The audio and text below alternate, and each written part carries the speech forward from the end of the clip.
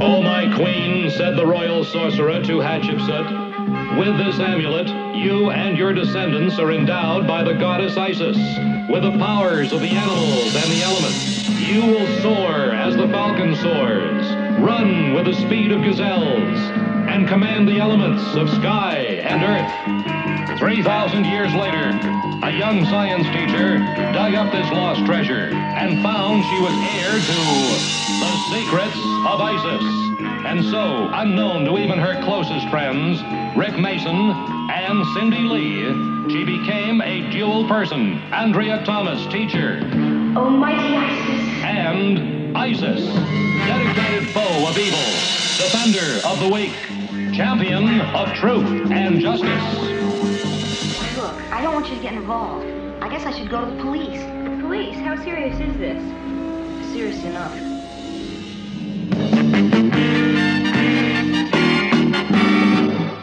Welcome back, my friends, to an all new episode of the Shazam ISIS podcast. It's your old mentor, John S. Drew, speaking, and we're continuing that journey down the highways and byways of the land, examining those two iconic TV shows of the 1970s, Shazam and The Secrets of ISIS. And we're knee deep, I would say, or neck deep in ISIS at the moment because we've actually finished the second season of Shazam and it's just now a run of the first season of ISIS until we get to their respective third and second seasons. And joining me on this journey as we continue examining these two shows is the big red cheese himself, Mr. Richard F. Lee. Hey, Richard. Oh, Zephyr winds that blow on high. Zip up my fly. I don't know. oh, oh, hi, John. I, I didn't know you're, you're you're the you're the principal of the. Oh, hi. I didn't want to be caught misbehaving. How so you doing? I'm doing great. I, am just uh, looking at the comics of Shazam and ISIS and getting into an ISIS mood and re- enjoying and reminiscing about the secrets of ISIS and having a, a, blast looking at these DVDs, and it brings back a lot of memories. Many of these DVD episodes I had not seen in a long time. And so I've had a chance now to go through them. And obviously, we're doing episode by episode, but I've had a chance to go through all of them, and it brings back a lot of memories. Well, let me ask you this, though. I know we're talking ISIS. We're going to briefly talk about the next issue in the DC Comics run in a couple of moments, but turning this over to Shazam a moment, you got an opportunity recently to sit in on a panel about Captain Marvel with Captain Marvel himself. That's right, John. And this was at the Big Apple Comic Con that occurred in March of 2017. And it was a very interesting time because this was the first New York Comic Con that I had gone to. I actually had not been to any of the bigger ones except for San Diego uh, before, once before. And so this was an opportunity to go to the East Coast to go to a Comic Con. And I was invited by none other than Jackson himself, Jackson Bostwick, who played Captain Marvel in the first season of Shazam, as we all know, friend of the podcast. And you had invited me, John, to be there to be a part of the panel. And the gentleman who hosted the panel, Zorik, he's a nice guy. He's a friend, a friend of this podcast. He's a great guy. He's a Captain Marvel expert. He had his own Captain Marvel uh, website many, many years. I actually read that some, I want to say about 10, 15 years ago before we even thought of doing this podcast. And he's up to speed on the name Captain Marvel. It was an interesting panel because it wasn't just about Shazam, it was about the name Captain Marvel. And the, he informed us that the name Captain Marvel had been used by about 20 different characters over time. It originated, of course, with the 1940 comic book from Fawcett, and then it was bought out by Marvel. They appropriated the title or stole the title. I don't think they bought it. And they used it for a number of different characters, including um, different characters, including a female character, had the name Captain Marvel. I didn't know any of that. I knew about the Captain Marvel that Marvel Comics produced, but I didn't know about the whole history of how many different characters had that name. And Roy Thomas, comics legend Roy Thomas, was with us as well, and he had come up with a lot of ideas for the Marvel version of Captain Marvel. And so we had a plug for the Shazam ISIS podcast. I did not participate much in the panel. I was too interested in listening to what these historians of comics had to say. And for those who are interested, you can find this on YouTube. It's been loaded up there. The AppleCon, March 2017, the uh, conference on Captain Marvel, the symposium. You can find it there. And I want to thank Zorik in uh, by this podcast for allowing me to participate in that panel. Unfortunately, the weather kept you away, John. It did. Yeah, I was supposed to make it. Uh, here it is. You fly in from the West Coast and you're able to make it. I couldn't make it down from the North. Mm-hmm. that was disappointing. I said, you know, you you had a blizzard that came in, and we understood from the weather reports a massive snowstorm was coming in, and uh, Long Island was basically shut down. And here we are in the heart of downtown Manhattan, and there's some snowflakes coming down. It was not bad. It wasn't bad in downtown Manhattan. It was cold as all get out. But for crying out loud, we had we had a, a Comic Con to attend. Don't you know, John? There are priorities in life. so let me ask you one thing though, because when we had Jackson on, he was clearly, uh, you know, of the opinion Captain Marvel is who you know we know him as Shazam 1970s but of course he knows the whole history too himself. He's pretty well versed in it. How well did he keep himself from getting too annoyed when talking about Marvel's stealing of the name? Well I don't think he was annoyed at that part of it of of during the uh, conference there. I don't think he was annoyed at that part of when Marvel stole the name.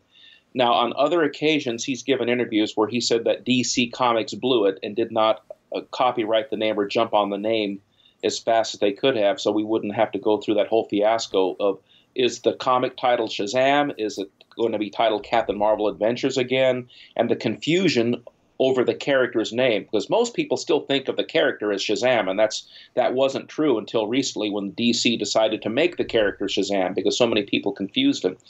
Uh, he didn't express displeasure at that point in the conversation, but I would recommend that our listeners watch this on YouTube themselves, and they can uh, arrive at what what was it that was actually said. Jackson covered his time on the show, so he did not address the different manifestations of what Captain Marvel was. He addressed his time on the show and how much he liked the 1940s version.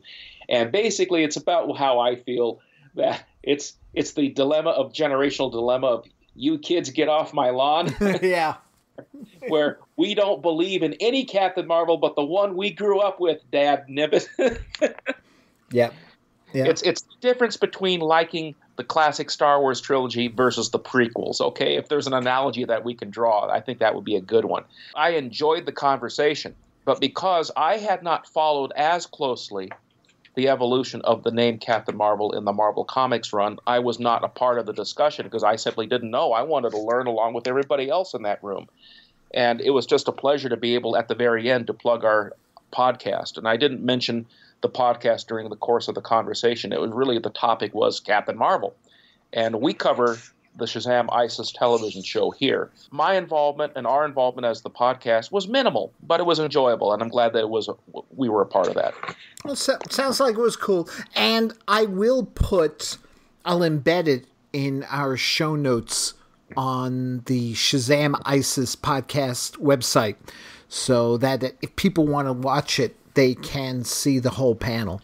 Yes, and there have been several pictures, including some pictures that I don't know who the photographer was who was present at the meeting with Roy Thomas and Zorik, our friend who hosted it, and Jackson, and there's me. And uh, there's a couple of other folks in there as well. Roy Thomas got an award, a Comics Lifetime Achievement Award. And uh, as soon as it was over with, photographs started appearing and getting uploaded. And it was great. I didn't I was not able to take a picture from where I was. So it was wonderful that was well documented. So the only person missing, John, was you, and you yeah. should have been there. You should have been there. yeah, yeah. Well, let's shift gears here and continue with just a brief look here at the ISIS comic book series from DC Comics back in 1976 77. And we moved on to issue three which I've got to admit was one of my more favorite ones, so to speak. It was called The. Wrath of Set. Yes, The Wrath of Set. And I have that comic in my hand. Now, Beware the Wrath of Set, is that correct? Beware the Wrath of Set, um, with a script by Steve Skeates, pencils by Mike Vosburg, inks by Vince Colletta. The basic story is this the Egyptian god Set threatens to destroy Isis's city if her quote unquote worshippers refuse to switch allegiance to him. And this is one thing I did like about the comic series that from time to time she was dealing with threats that dealt with Egyptian lore. I don't think the TV show really did anything other than the fact that Isis was there. We really never got into any of the stuff with other characters from Egyptian mythology. And it also asks the question about where gods get their power from in the sense of worshippers. That is very interesting. It did introduce us to these mythological motifs. And uh, that's the first time probably any of us kids would have been exposed to that prior to taking a humanities course in college. yeah. would be from one of these. As, but I'm a little distracted, like we were the first time. I'm reading the, this issue, and Mr. Barnes is a white guy. Yeah. Just they didn't get the character right as far as his visuals, but the comic illustration of of Andrea and Isis is a pretty close approximation. Pretty close. It's not exactly the image of Joanna Cameron. I think today, with the type of art that comes out um, in Dark Horse Comics, DC, and Marvel, that you would probably have a closer approximation to the actors who played the parts. Because I just take a look at the, the artwork itself. And in this issue, you have some down to earth types of rescues, like kids being rescued from a burning building, that kind of thing. Right. And um, you see the the other character coming in and causing havoc as he goes along, and trying to get attention. But just like the prior issue, she manages to make this god disappear. yeah. that was a theme of the prior issue. That's true. That was, that's that's what happened to the god of, of the first issue. In fact, Scarab, the first god of the, of the first issue. And so, as they're exploring these different Egyptian gods and how Isis comes up and combats them, I think they had to do this. I think the writers had to do this because other established characters in the DC universe had their own rogues gallery. And Isis could not battle Lex Luthor, for example, or battle an established DC character. They had to come up with something to give her to fight, some nemesis. Imagine if she did, the- though. Imagine if she could fight someone like Lex Luthor or Dr. Sivana, you mean? Yeah. I think it would be pretty easy to do. I, I would love to see a team up with Isis and Zatanna. hmm. You know? That could very well be a possibility in the future. You never know. yeah. Yeah. And so, what now? What further about this issue that really sticks out to you? Well, the story itself, as I say, I just love the whole idea. It's always been something that's sort of, you know, intrigued me. I mean, I, I'm a Roman Catholic myself, but I always find it fascinating when we get this thing that a God only holds power as long as there are people there who worship. And even if they know that the God exists, if they don't worship, then they lose their power. And this is the whole thing with Set. He needs those worshippers as he looks at it. He doesn't realize that Isis is a different person now. I mean, he even sort of hints at her past, which is interesting because it will set things up for later in the run. And the uh, classic scene is at the very end of that particular story. You see Set's expression on his face like a scared dog. It's Yeah. hilarious. Yeah. What what an expression! I mean, Yeah. fans of the podcast, you just got to see what we're seeing. Maybe we'll make it available to you somehow. But he disappears. He ends up. Go- he says, "These people have no respect for the gods whatsoever. I could never rule here. I have no desire to either. I shall return to ancient Egypt where the gods are respected." And he poof disappears. So it's like uh, this is very similar to a Star Trek episode, "Who Mourns for Adonis." Yeah. That sound familiar? Yep. Oh, yeah. That particular episode as a kid, I never appreciated it, but in recent watchings, I've come to appreciate more again that whole concept of eh, gods only hold their power as long as there's someone to worship them. They sort it sort of Yes. like feeds on it. Yes, I think you're right about that. I think that was the idea, one of the ideas in the episodes, one of the motifs that gods get their powers from worshippers, and that theme is replayed here. Now, uh, I don't think this has risen to the level of a cliche yet because I haven't seen anything lately where you have that theme of gods appearing out of nowhere, needing their worshippers and their followers in order to survive, and then when they stop worshiping them, they disappear and lose their power. That's almost a cliche, you might say Yeah. if it's been replayed in so many episodes of a sci-fi show or whatever. I can't think of any recent examples or contemporary ones. Who Mourns for Adonis is obviously the first one that comes to mind, and now we see that plot element play out in an episode or in in a, a comic, an issue of the Mighty Isis comic book. Although I don't think that the writers had any agenda; they're just trying to entertain Oh yeah, but no, I, I, agree. think, yeah, they were just trying to entertain. Whereas I think that in the original Star Trek series, we don't want to digress too much here, but I think in the original Star Trek series, there was an agenda. There was an agenda because Gene Roddenberry was a devout humanist, and he was trying to uh, show through uh, illustration how humanity has evolved beyond the need for gods. I think he was trying to get that point across. I don't think that point is coming across in the Mighty Isis comic story at all. Right. Yeah. Yeah. Now, there's a second story in this one, and again, it's more reminiscent of the TV show. It's called Political Rally Panic. Uh, Skeates does the plot, script by Jack C. Harris, pencils by Jose Delbo, inks by Colletta. And basically, there's a tornado that's threatening a political rally, but there's spiked punch that prevents Andrea from making the incantation to turn into ISIS. Oh, that's funny. it's funny, Uh, yeah. That's that's great. Uh, but it is it is a little more down to earth. Now you got to wonder. Uh, I'm looking at the illustrations here. Is what city is this supposed to be? It was never established in the TV show that the ISIS characters were in a large city. It uh, was never established, but this is interesting you bring that up, and I- I'll briefly say it. We can get into more detail in the next episode. I get the impression from the fourth issue that they're on the East Coast. Uh huh.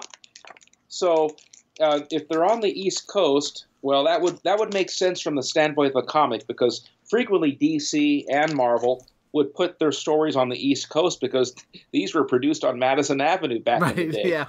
And it only makes sense that you can look out the window and, and draw the building that you're next to and put it in the comic book story. But what's what's interesting about this particular story that I see here, ISIS rescues a man uh, who ends up getting uh, uh, s- uh, upon by a fire hydrant. Uh, no, no. What happens? He's falling, and the fire hydrant saves him from from meeting a, a, a doomed end. From I, I gather here, and now he's wet, and he says, "Thank you. I'm dreadfully sorry about causing a fuss, Miss Isis." Later on in that same page, this is the first time that I remember seeing Isis transform back into Andrea Thomas. Hmm. And again, it's not a very interesting transformation. It's just a split frame. Right. So even even the comic writers were not too creative in how to make her look like she's transforming back into or from her alter ego. They could have come up with something. At least with Captain Marvel, you had a flash of lightning, Yeah. but they didn't really do anything with that. They just went on with the story and didn't allow the transformation to interfere with the story. And then they show up for uh, a speech, and again, a white Mr. Barnes at the, is at the party with Cindy and Rick Rick Mason, who's not wearing his glasses now, and uh, so their Well- throats get paralyzed. Then I guess that's the next thing. If if I could throw out a conjecture here Sure. as to why Dr. Barnes may have been white, my guess is that there was some scripts. There may have been some, uh, what do you call it, like uh, publicity photos of Joanna Cameron, Joanna Pang Atkins, and such, there may not have been a picture of Dr. Barnes, but he may have been mentioned in some of the scripts that were given to DC in order for them to get a feel for the characters. And of course, they weren't going to, to exactly mimic the TV show. Not that they were like trying to avoid that, but they may not have even been aware that Dr. Barnes was black. They may not even have been aware that there was a recurring character of Dr. Barnes in the TV series. Mm, they might have they might have been aware of uh, some character named Dr. Barnes who's a principal, but they, for all they knew, they didn't. Maybe they didn't even know that he was in the show. That's true, As, especially if it was like, you know, here's four scripts and Dr. Barnes is only in one of them, and he's listed as a guest star. Right. That's true. That's true. You know. And uh, but you know, I, I gotta hand it to this this old artwork.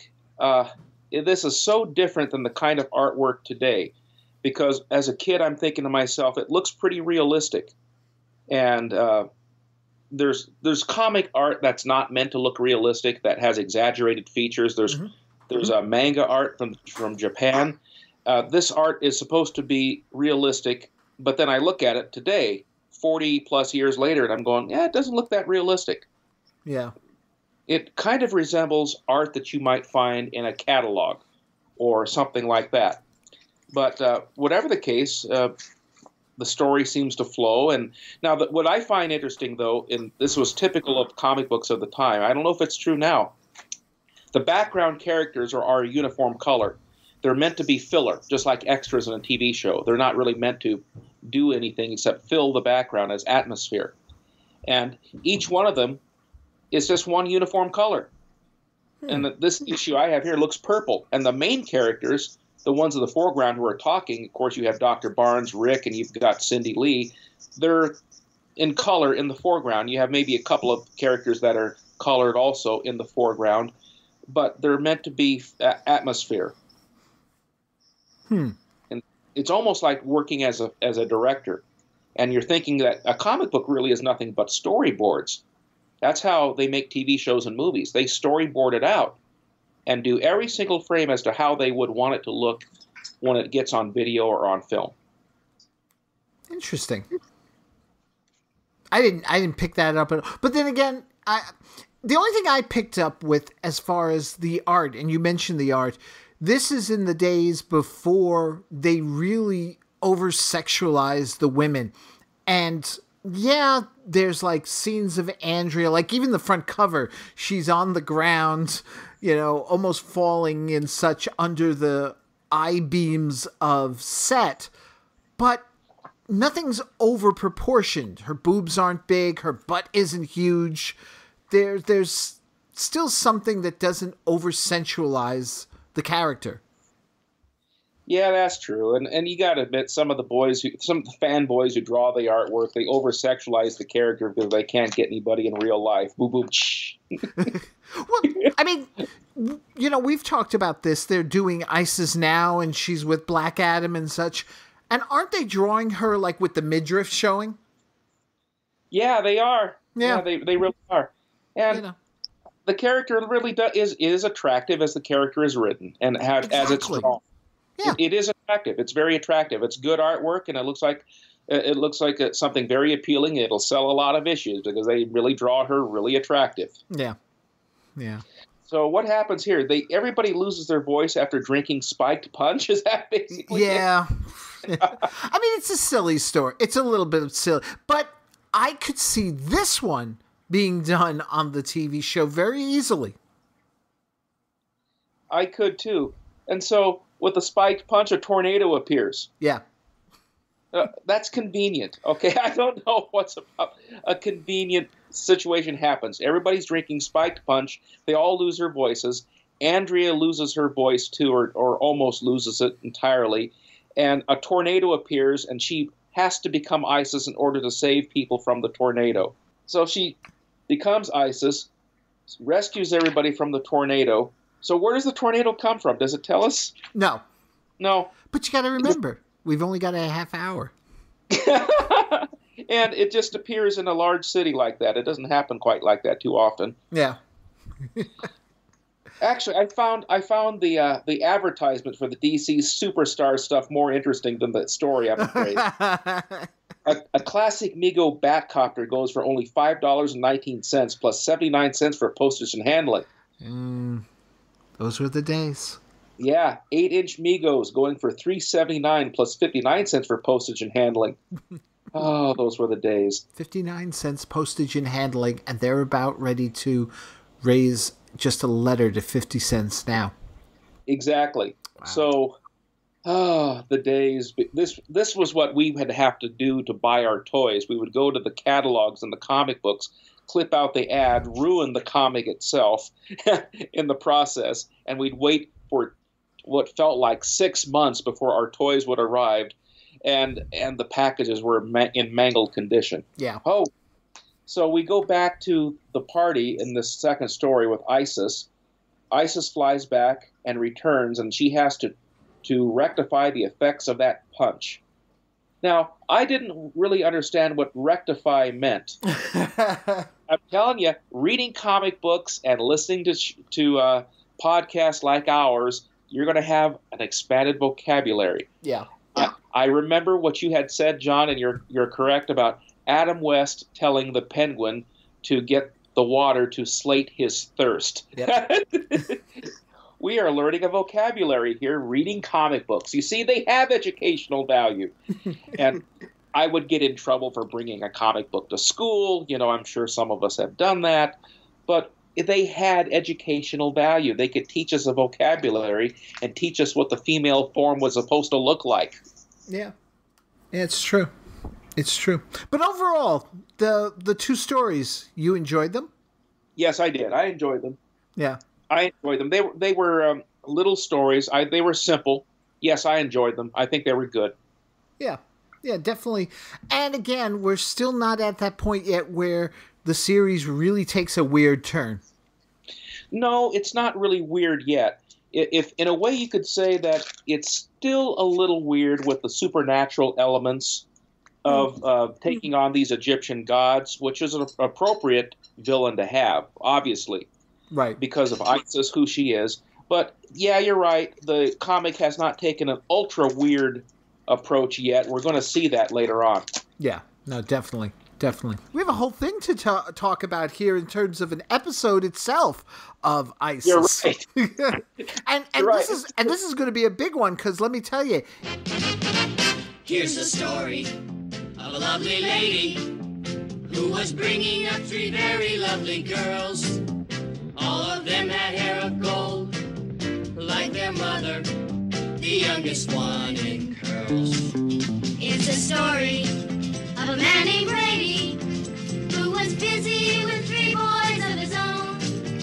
They were foremen, living all together, yet they were all the story of a boy named Anderson. It is. It is. Tom Anderson.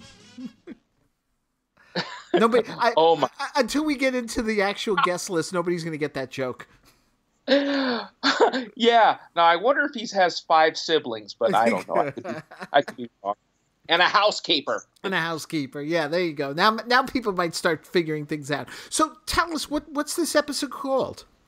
This episode is called "To Find a Friend," and under the DVD insert in the episode guide that comes with the DVD set, it's called Production Number Eight Two Zero One Three, written by Henry Coleman directed by Hollingsworth Morris.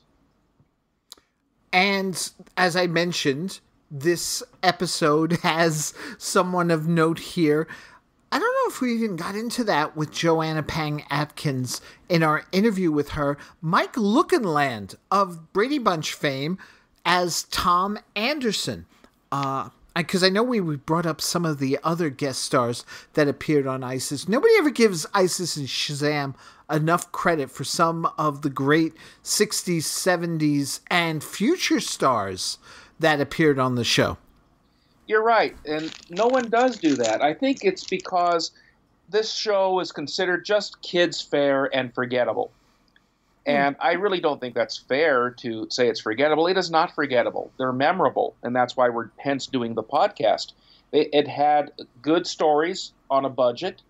and they had a slew of guest stars, just like you would expect any uh, Southern California produced television show that was appearing at the time on one of the three major networks. We also have to remember Shazam and Isis appeared on a major network. They appeared on CBS. And today, you can have a thousand different cable channels, not counting even Netflix, and you won't know necessarily one television show from the other because that dilutes the audience the more networks you have and the more TV shows you had. But in 1975, John, this was the only choice that most people had CBS, ABC, NBC. Yeah. And so it had a much larger share of the audience than TV, a lot of TV shows of today. So this show really is not given the kind of credit that I think it deserves in the types of guest stars they brought in. So who else do we have on this episode of the Seasons of Isis, or Secret Uh, of Isis? On the Secrets of Isis, we've got Buddy Foster as Billy. Now, I know him better as the Wolf Boy on the Six Million Dollar Man episode, The Wolf Boy. I say Wolf Boy because that's the way Lee Majors pronounced it. Oh, okay. Yeah. Now, Buddy Foster, that isn't that uh, Jodie Foster's brother? That is correct. He didn't have too many roles, though. Hmm. He didn't go on to do bigger and better things like his sister did. Mm-hmm. Yeah. I think uh, Wolf Boy was probably the biggest thing he did. Probably. yeah. And he barely had any dialogue in the episode. Hmm. Yeah. He was he was a wolf boy. Okay. He's, he's a wolf boy. He's a wolf boy. He's, he's a wolf boy. I can imagine Lee Major. He, he's a wolf boy. Yeah. we also cool. have Tommy Norden as Joe, Russ Marin as Mr. Anderson, and Christopher Norris as Joe's brother, although he doesn't get credit on screen. Hmm. Yeah. and, and also we've got Albert Reed as Dr. Barnes Oh, again. that's right. He's back. And he's listed as a cast, a guest cast member. Yeah.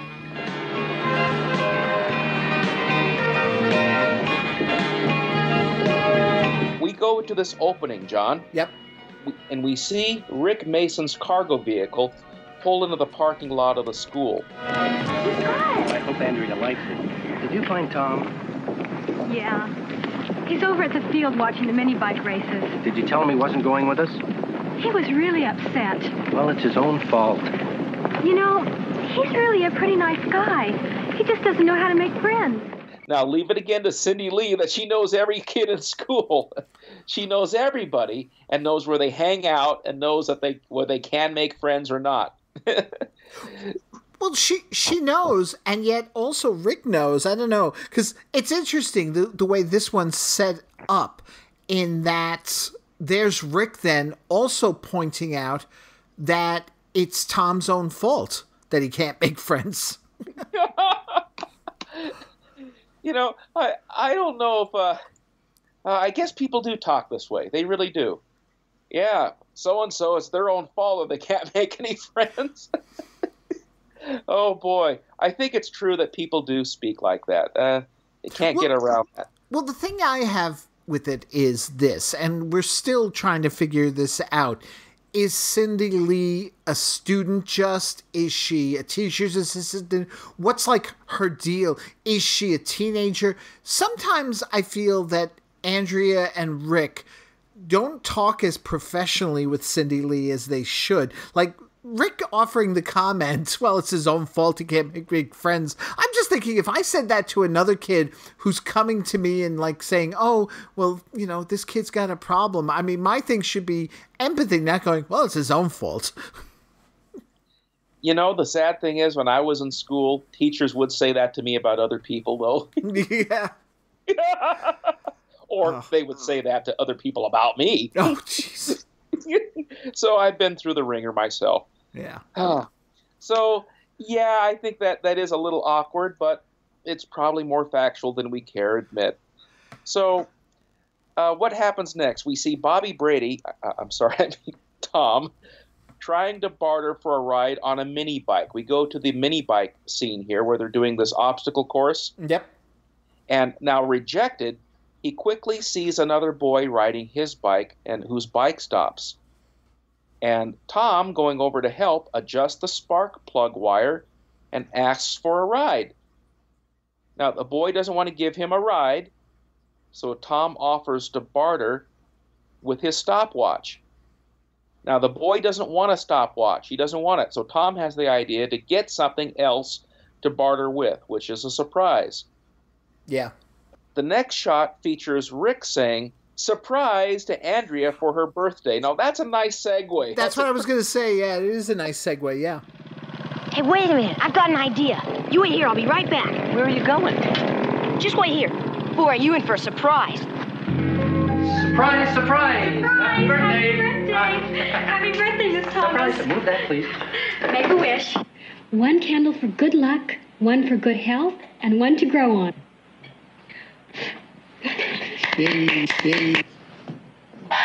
I thought I kept this a secret. How did you find out? Oh, there aren't many things in this school that I don't know about. Now, seriously, you're invited out to dinner. Your choice, my treat. A cake and dinner? There must be a catch here somewhere. There is. Mm-hmm. Well, now that it's come up, I'm taking Cindy and some of my sixth period students on a field trip to the botanical gardens. Let me guess. You'd like me to handle the rest of the class. Boy, are you a good guesser. Hmm? And isn't that sixth period the one you're having a problem in? Well, sort of, yes. And isn't that problem's name Tom? Tom Anderson? Well, now that it's come up, um, Tom has caused a few problems. Do I get one more guess? Sure. Uh huh. Tom Anderson isn't going on the field trip. He'll be in the sixth period class. You know, if this was a quiz show, you'd win the jackpot. It's a clever editing gimmick. Yep. Now, I don't know about you, but most of the time, if a teacher asks me, you want to come with us on a class trip, I'd be like, sure, I get out of the building for the day and I don't have to teach. But Andrea is suspicious uh, because, of course, one of the kids in the class is Tom. Oh, take care of the problem, kid. Yep. Yep. Yep. Andrea reluctantly agrees to watch Tom as he can't go on the trip anyway. And meanwhile, we see Tom return with the box, and he's got his surprise. Inside is an antique gun to give to Joe. Uh, but before we cut to that scene, we have to remember our friend Tut. oh, yes, Tut. Tut the bird. Now, uh, this bird, I like the bird. The bird is comic relief for Yeah. me. I think it's, he's meant to be comic relief. He's the Jar Jar Binks of Shazam and ISIS, okay? that's bad, okay? That's a bad pun. Bad reference. But Cut the cake! Cut the cake! now, he had to at least learn to say that really fast, didn't he? How do how do birds do that? How did Tut do that? Uh, It's a wonder that Tut never says "cut the cheese, cut the cheese." oh, so quickly away from this scene, we go back to the mini bike races again, Right. right, John? So Joe's got the antique gun now. He tests it by shooting out a headlight on one of the other bikes. And this gets him thinking that with a gun like this, he can make Mr. Rabbit take notice.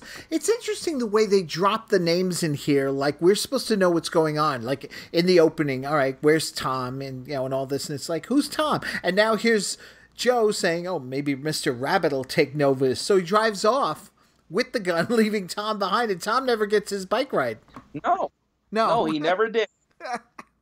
That, that's a that's a breach of contract. The contract was verbally between him that he would get a bike ride in exchange for something to barter with. Ah. so, in the meantime, this kid, uh, Joe, drops that he's going to do something with Mr. Rabbit. Mr. Rabbit's going to take notice. Yeah. Oh well. So that that leaves us a clue as to what's going to happen later in the episode.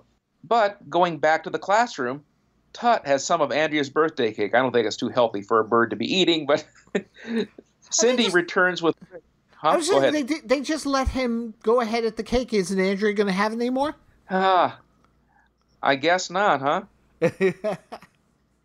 Uh, but Cindy returns with Rick from the field trip. That was a fast field trip. Okay. Yeah, right. Well, thirty minutes. yeah. Enough for a commercial break. Uh, but then Rick indicates that something is bothering him. Andrea says that he doesn't have any friends, and they're talking about Tom, right? Right. Presumably. So Rick says that Cindy that Cindy knows he keeps spending his allowance on the kids. Cindy Lee knows everything again. I mean, why did they get rid of Cindy Lee in the second season of The Secrets of Isis? She knows everything about the guest characters that we'll never see again. well, it'll be interesting to see if. Oh God, I'm blanking on her name now. If she's as knowledgeable as Cindy Lee in the second season. Yeah. Rennie Carroll. Rennie. That's the new character. we're meet. yeah, Yeah, we'll meet her next season. yeah, So Rick was going to have a talk with him the next day, but Andrea says it should be today. He may be headed for trouble. Hmm. Now, the next thing they go to the mini bike races, and Cindy Lee is there judging the races and says that Billy wins fair and square. So she's one of the judges. right. Well, well, Tom accuses him of starting sooner than the rest of them. Rick happens to be there. He interrupts them, and Tom shoves Billy, and Rick breaks it up and confronts him about not being in class. You know, Tom, that's no way to win friends. Well, he asked for it. Did he? Let's get right to the point. You weren't in class today. Well, something happened. I had some trouble. And what are you going to do with it? Carry it around on your back? I guess so. Are you afraid to ask for help? Yes, ma'am. Well, you shouldn't be. That's what we're for. Look, I don't want you to get involved. I guess I should go to the police. The police? How serious is this? Serious enough. Listen, why don't you tell us about it? Well, I took something I shouldn't have. You stole it? I didn't. The kid I showed it to did. Well, what was it, Tom? A gun.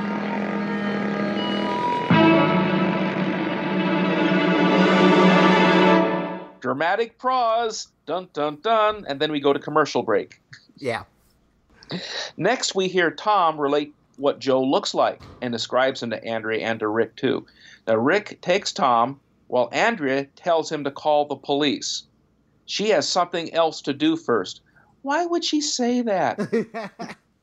Why is she dropping a clue? I got something else to do first. Well, what's more What else important? could be yeah, important? yeah, What, else could be so important that she doesn't go along with Rick and Tom? Yeah. Track down a missing gun. Of course, we know she will become ISIS, but why preface it out loud? So, Well, all I can I- say is thank God Andrea's there because yeah, yeah, oh, she, she's there just in time. She might have to save us from Cindy Lee's uh, blue overalls. Those things are bright. Well, because if she didn't, there's Rick saying first thing we got to tell Tom's father, and the second thing is to look for Joe. What about calling the police? Call the police, report a missing gun. Oh, dear. I mean, at least Andrea, all right, for whatever else, I've got something else to do. At least says, well, go call the police. Oh man. Couldn't this have been done without ISIS intervening at this point? I think it could have, but you know, we got to make use of the character. Right. And and so we have to put her in early in the episode. We don't want to keep kids hanging to the very end when ISIS comes and saves the day. Right. Mighty ISIS.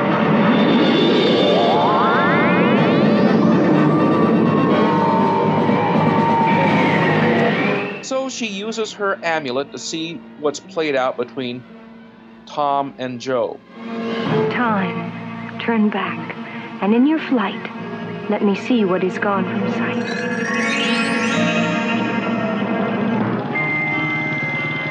Red hair. Black leather jacket. Yellow mini bike. Wish I could see where he went. The whole thing with her using her amulet to see the whole thing being played back, it's weird. It's the first time we ever see her sort of looking into the recent past. I mean, she can hear the the gun going off and the motorbike, but she can't seem to hear them talking to each other. Hmm. You know? And then she's True. like, "Oh, and I wish I knew where he went." I'm like thinking, "You can't keep going with this and you know uh, to me it's like just very specific. It sort of fills her in without having characters there and at the same time it doesn't give her all the information. Do you see what i'm getting at? It's it's it's Uh, just a weird plot point. Yeah, it is. It's a little strange, but Yeah. I'm curious to know how how is Isis able to see this if it's playing in her amulet? Because her amulet is strapped to her forehead. it's her mind's eye Oh, okay. Her mind. yeah, that's what. That's what it's supposed to communicate because when you look at that amulet, you see all those smoke, the smoke swirling, and all of those kinds of things. right And if she, if it's in her, if it's in her mind, I can understand that. But Yeah. why they show us that it's in the amulet that she's watching it like a television thing. Will she take it off and look at it? Or she just keeps it on her head. I don't know. And the, and the right. thing is too, she's like, I, I don't know where he went. It's like, well, you even at least have a basic de- direction because as you're watching the scene, he drives off. Follow in that direction. At least you got something. I don't know. I, I just didn't like it. It it was it was a very limited power, and there was no explanation as to why it was limited, and it sort of frustrated the whole story as far as I'm concerned. It did. It frustrated it a little bit. Yeah. Uh, that it, it opens up some unanswered questions. I don't think it was necessary for her to do that because the unanswered questions would be, well, she can see him clearly. Why can't she use a spell and conjure up where he went? I mean, it would naturally seem to flow that that's what would happen. But they're trying to tell us a story that she has some power to be able to see the recent past. And so uh, that makes a little bit of sense. And of course, we see her do all sorts of things like stop time and so on that I think giving a character like Isis too many powers can cause complications in other plot lines. True. Like, again, why couldn't she save Lucky? Let me go Lucky. back to the dog again. He's going to be a frequent reference in the future reviews of I- Secrets of Isis episodes. Why couldn't she save Lucky? oh, poor Lucky. but she can sure keep a gun out of a hand of a teenager. Yeah, that's true. Yeah. Ah, and and the, here's the thing that gun is so old. We find out at Tom's house later on because the father is clearly disappointed Yes. in Tom and giving it up. We find out it's so old, it's an old war souvenir. The mechanism is rusted and it could explode at any moment. It, well, not any moment, but like in being triggered, it could be triggered the wrong way and cause an explosion. yeah, we find out about that while, while uh, Tom's dad is chewing him out. Yeah. Now, something is missing here. Rick was with Tom without Andrea. Now we see them arrive together. Obviously, a little bit of time has passed. Okay, I can understand a few minutes have passed, perhaps. Right. Did she turn into Andrea Thomas and stand on the roadway and say, "Oh, here, come and get me"? Like, wait a minute, how did she get all the way over here, Andrea? Wouldn't that give away a clue? But I don't know. So next we see that Joe uses his older brother to buy ammunition. And meantime, Rick, Andrea, and Cindy and Tom go through yearbooks trying to find him. Yeah. Andrea asks about the mini bike, and she, Andrea asks about what the color of the bike. And Cindy asks that this boy could be out of school. So Rick has a checklist of those who dropped out of school and have part-time jobs. Wow, that should take up another 25% of the student body. Who does that? That's pretty good detective work. Okay. yeah. Yeah. So Cin- Cindy and Andrea go in one direction while Rick and Tom go in another. That's that's a cliche. You go this way, we'll go the other way. That's another story cliche in a lot of plot lines. Well, we find also- that a lot. Well, we get stories. that cliche in more 70s and 80s shows than modern shows. And we also get the cliche of the montage of their investigation. Yes, yes, you're right. You're right about that. The montage of the investigation, all the places they go, all the questions they're asking, that that is true. I don't think things go quite like that in real life just because of the advent of, of smartphones and technology. Uh, that saves a lot of storytelling time. But you're right. That's a cliche, and it's told here. And I think they do a pretty good job of that. Yeah, I agree. So Rick and Tom get to a basketball court and they find the wrong person. They meet up with no results. Tom's father finally meets up to tell them that the police called to say that ammunition was sold that would fit his gun. wow, that must be a rare antique gun to find some special ammo that is seldom sold. so Andrea asked Tom if he can remember anything Joe said that might give them a clue. And she tells him to think hard while she flashes him her amulet. Now, did anyone else see her do this? Apparently not. That is kind of a neat trick. That, that's a kind of a neat trick. I like that. But you see the flashing of the amulet, and you see the reflection on his face. Now, how did Andrea know that that would do that? She must know a lot about this amulet. When she found it in the desert, did it come with instructions? she remembers that he said, Wouldn't old Mr. Rabbit sit up and take notice of this? That was the clue from earlier in the episode. Now this we're going to be heading towards a payoff on this pretty Right. soon. So we know that this character Joe has gone hunting. Now the the group of people split up again to check out hunting grounds.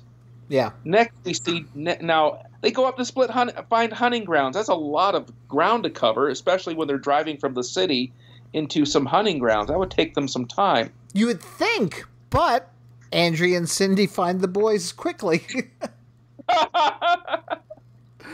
So 30 next minutes. we see Joe bike. That's right. We see them on their way to hunting, and the party search. Andrea and Cindy happen to be at the gate where the boys enter. They find them quickly, just like you said, John. yeah. So getting Cindy out of the way to call the police. Days without cell phones.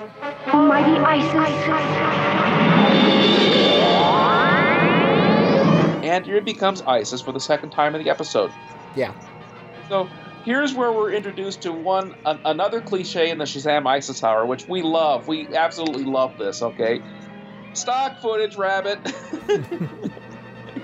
stock footage, rabbit. Couldn't they have borrowed the Trix rabbit from the cereal commercial? Mhm.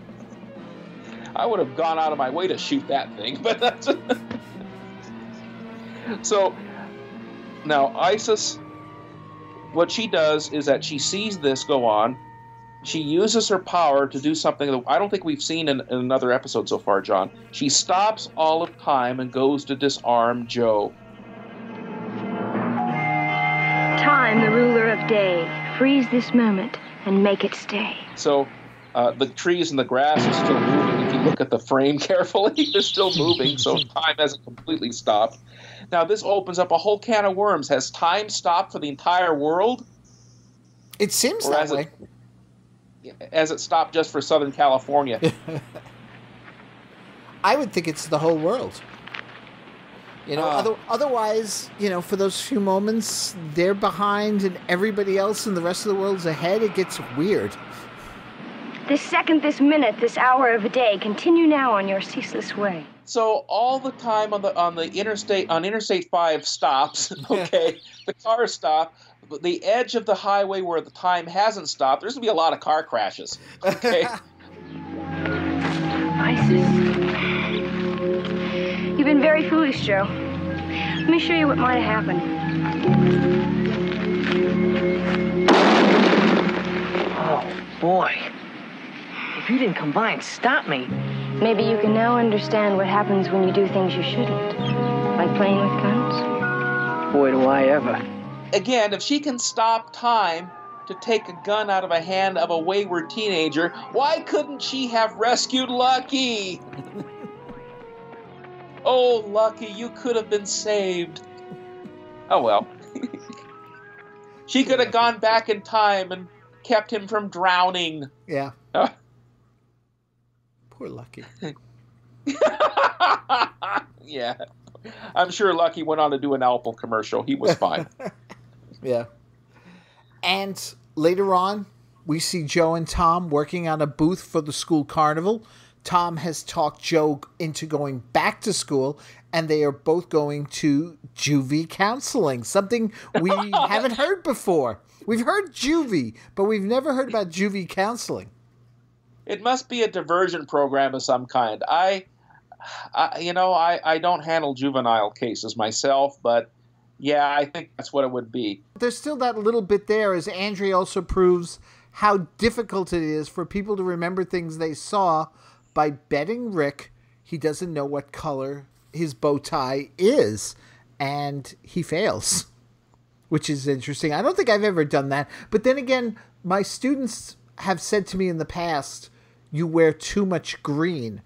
And sure enough, I brought that story up to my current students, and they were laughing at that. And what did I do the very next day after saying that? I came in wearing a green shirt, and they pointed out maybe there is something to it. Yeah, there there may very well be.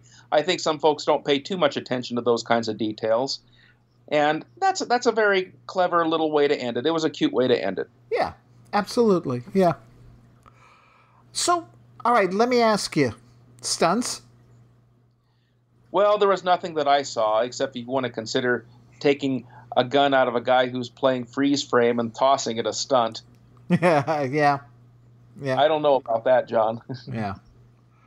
But uh, the fashion wise, I mean, Rick's bow tie, right?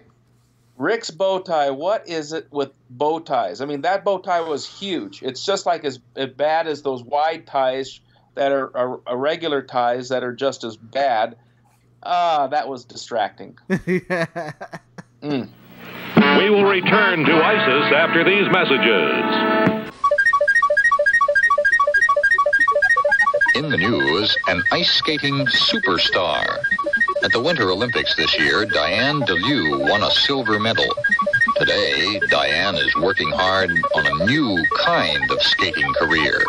In the news. In the News is sponsored by Nabisco. You'll find quality in our corner. Hi, gang! Big Fig here with that great new dance, the Newton. Hit it, Hal.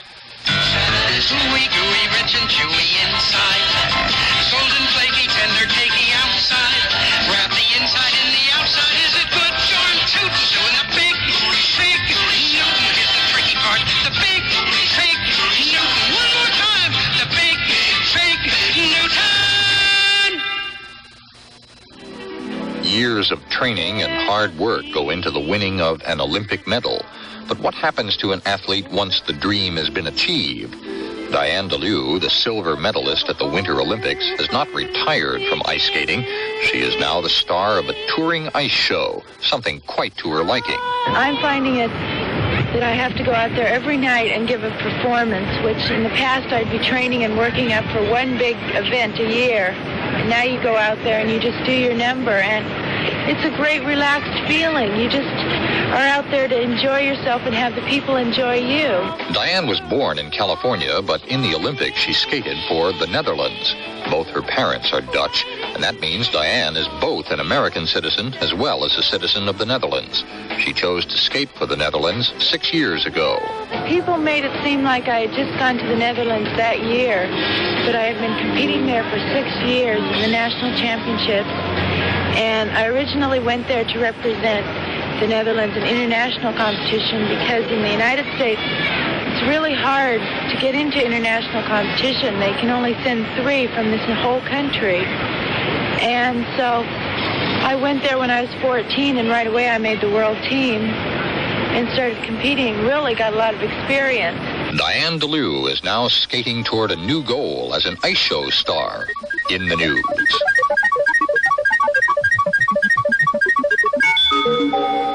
Show tonight at 6.30 on 8.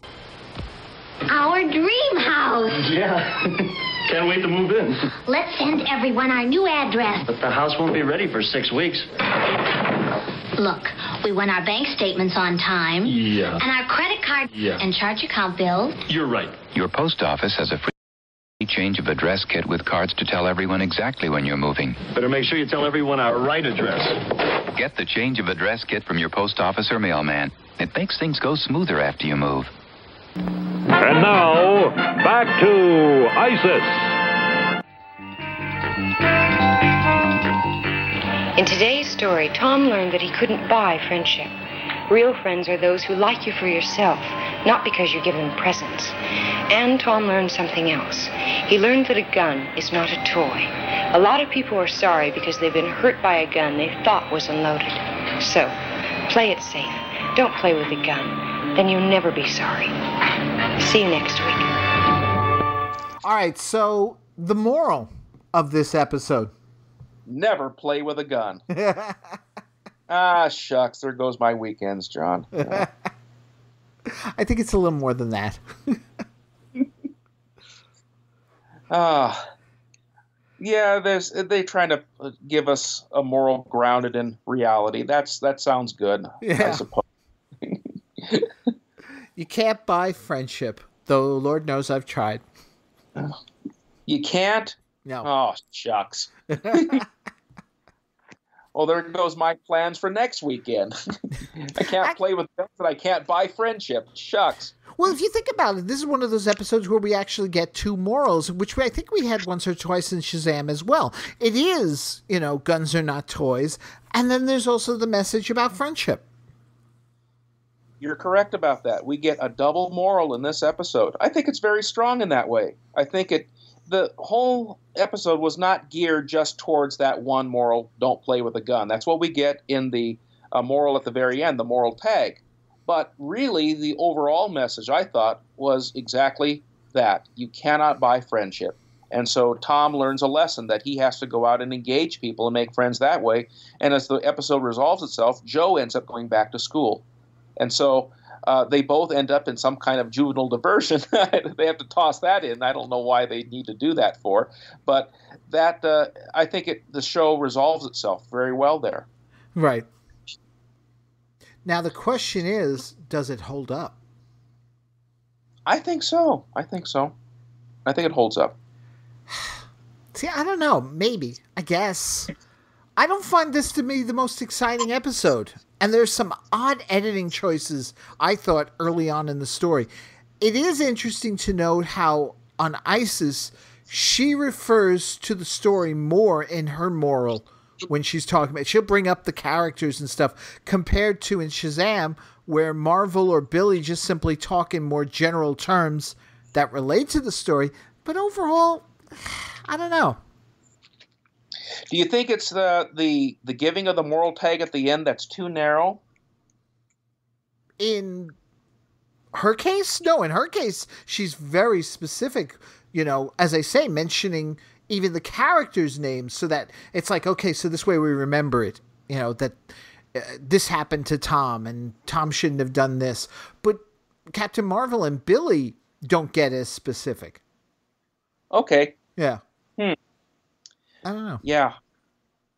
But uh, I think it's I think it's good so so far. I think I I like the insight that you provided that we're we really are introduced to two moral messages here. They're not conflicting at all. It's about being careless with firearms and it's about not buying friendship.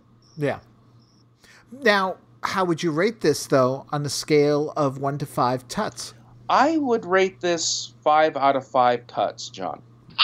really okay I th- I consider it high because I do think that the moral is good or morals. There's there's a good moral to uh, the character arc of this boy. He manages to make friends and he manages to help, in essence, turn another guy around too who was heading the wrong way.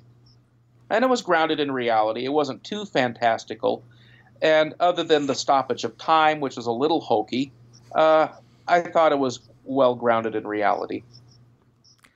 I guess. I don't know. I just found it to be pretty standard fare. I I wasn't that interested in the story overall. I don't know. It's it seemed forced. And I know that sounds weird because we're talking about this 70s TV show and such, but the whole thing just seemed forced. Like this is the moral we want to do. How do we go about it? And then it's not as well played out, I thought, as some of the other episodes. It's okay. I'd watch it again, but not the most interesting, I, I thought. It's a good episode to watch, and it's good to see Mike Lookinland play a different role besides Bobby Brady, and I thought he did fine. That's true. Yeah, that's true. So, folks, that's going to do it for this episode of the Shazam ISIS podcast. Tune in next time, in which I guess I'm going to use politically correct terminology here. A right, a right, a height challenge student is trying to show he's more than what you see in the episode The Show Off. We continue our look at ISIS and we'll also continue our look with the fourth issue of the comic book. That's on our next episode. So until then, folks, thank you so much for listening. Make sure you head on over to the Facebook page, the Shazam ISIS podcast.com website. Also, subscribe on iTunes, Stitcher Radio, Google Play, or any of those great podcast players that are available for you to listen to the podcast because we're there. So until next time, folks, thank you so much for listening. Once again, Richard, everyone, take care. Take care, everyone, and thank you for listening to our podcast.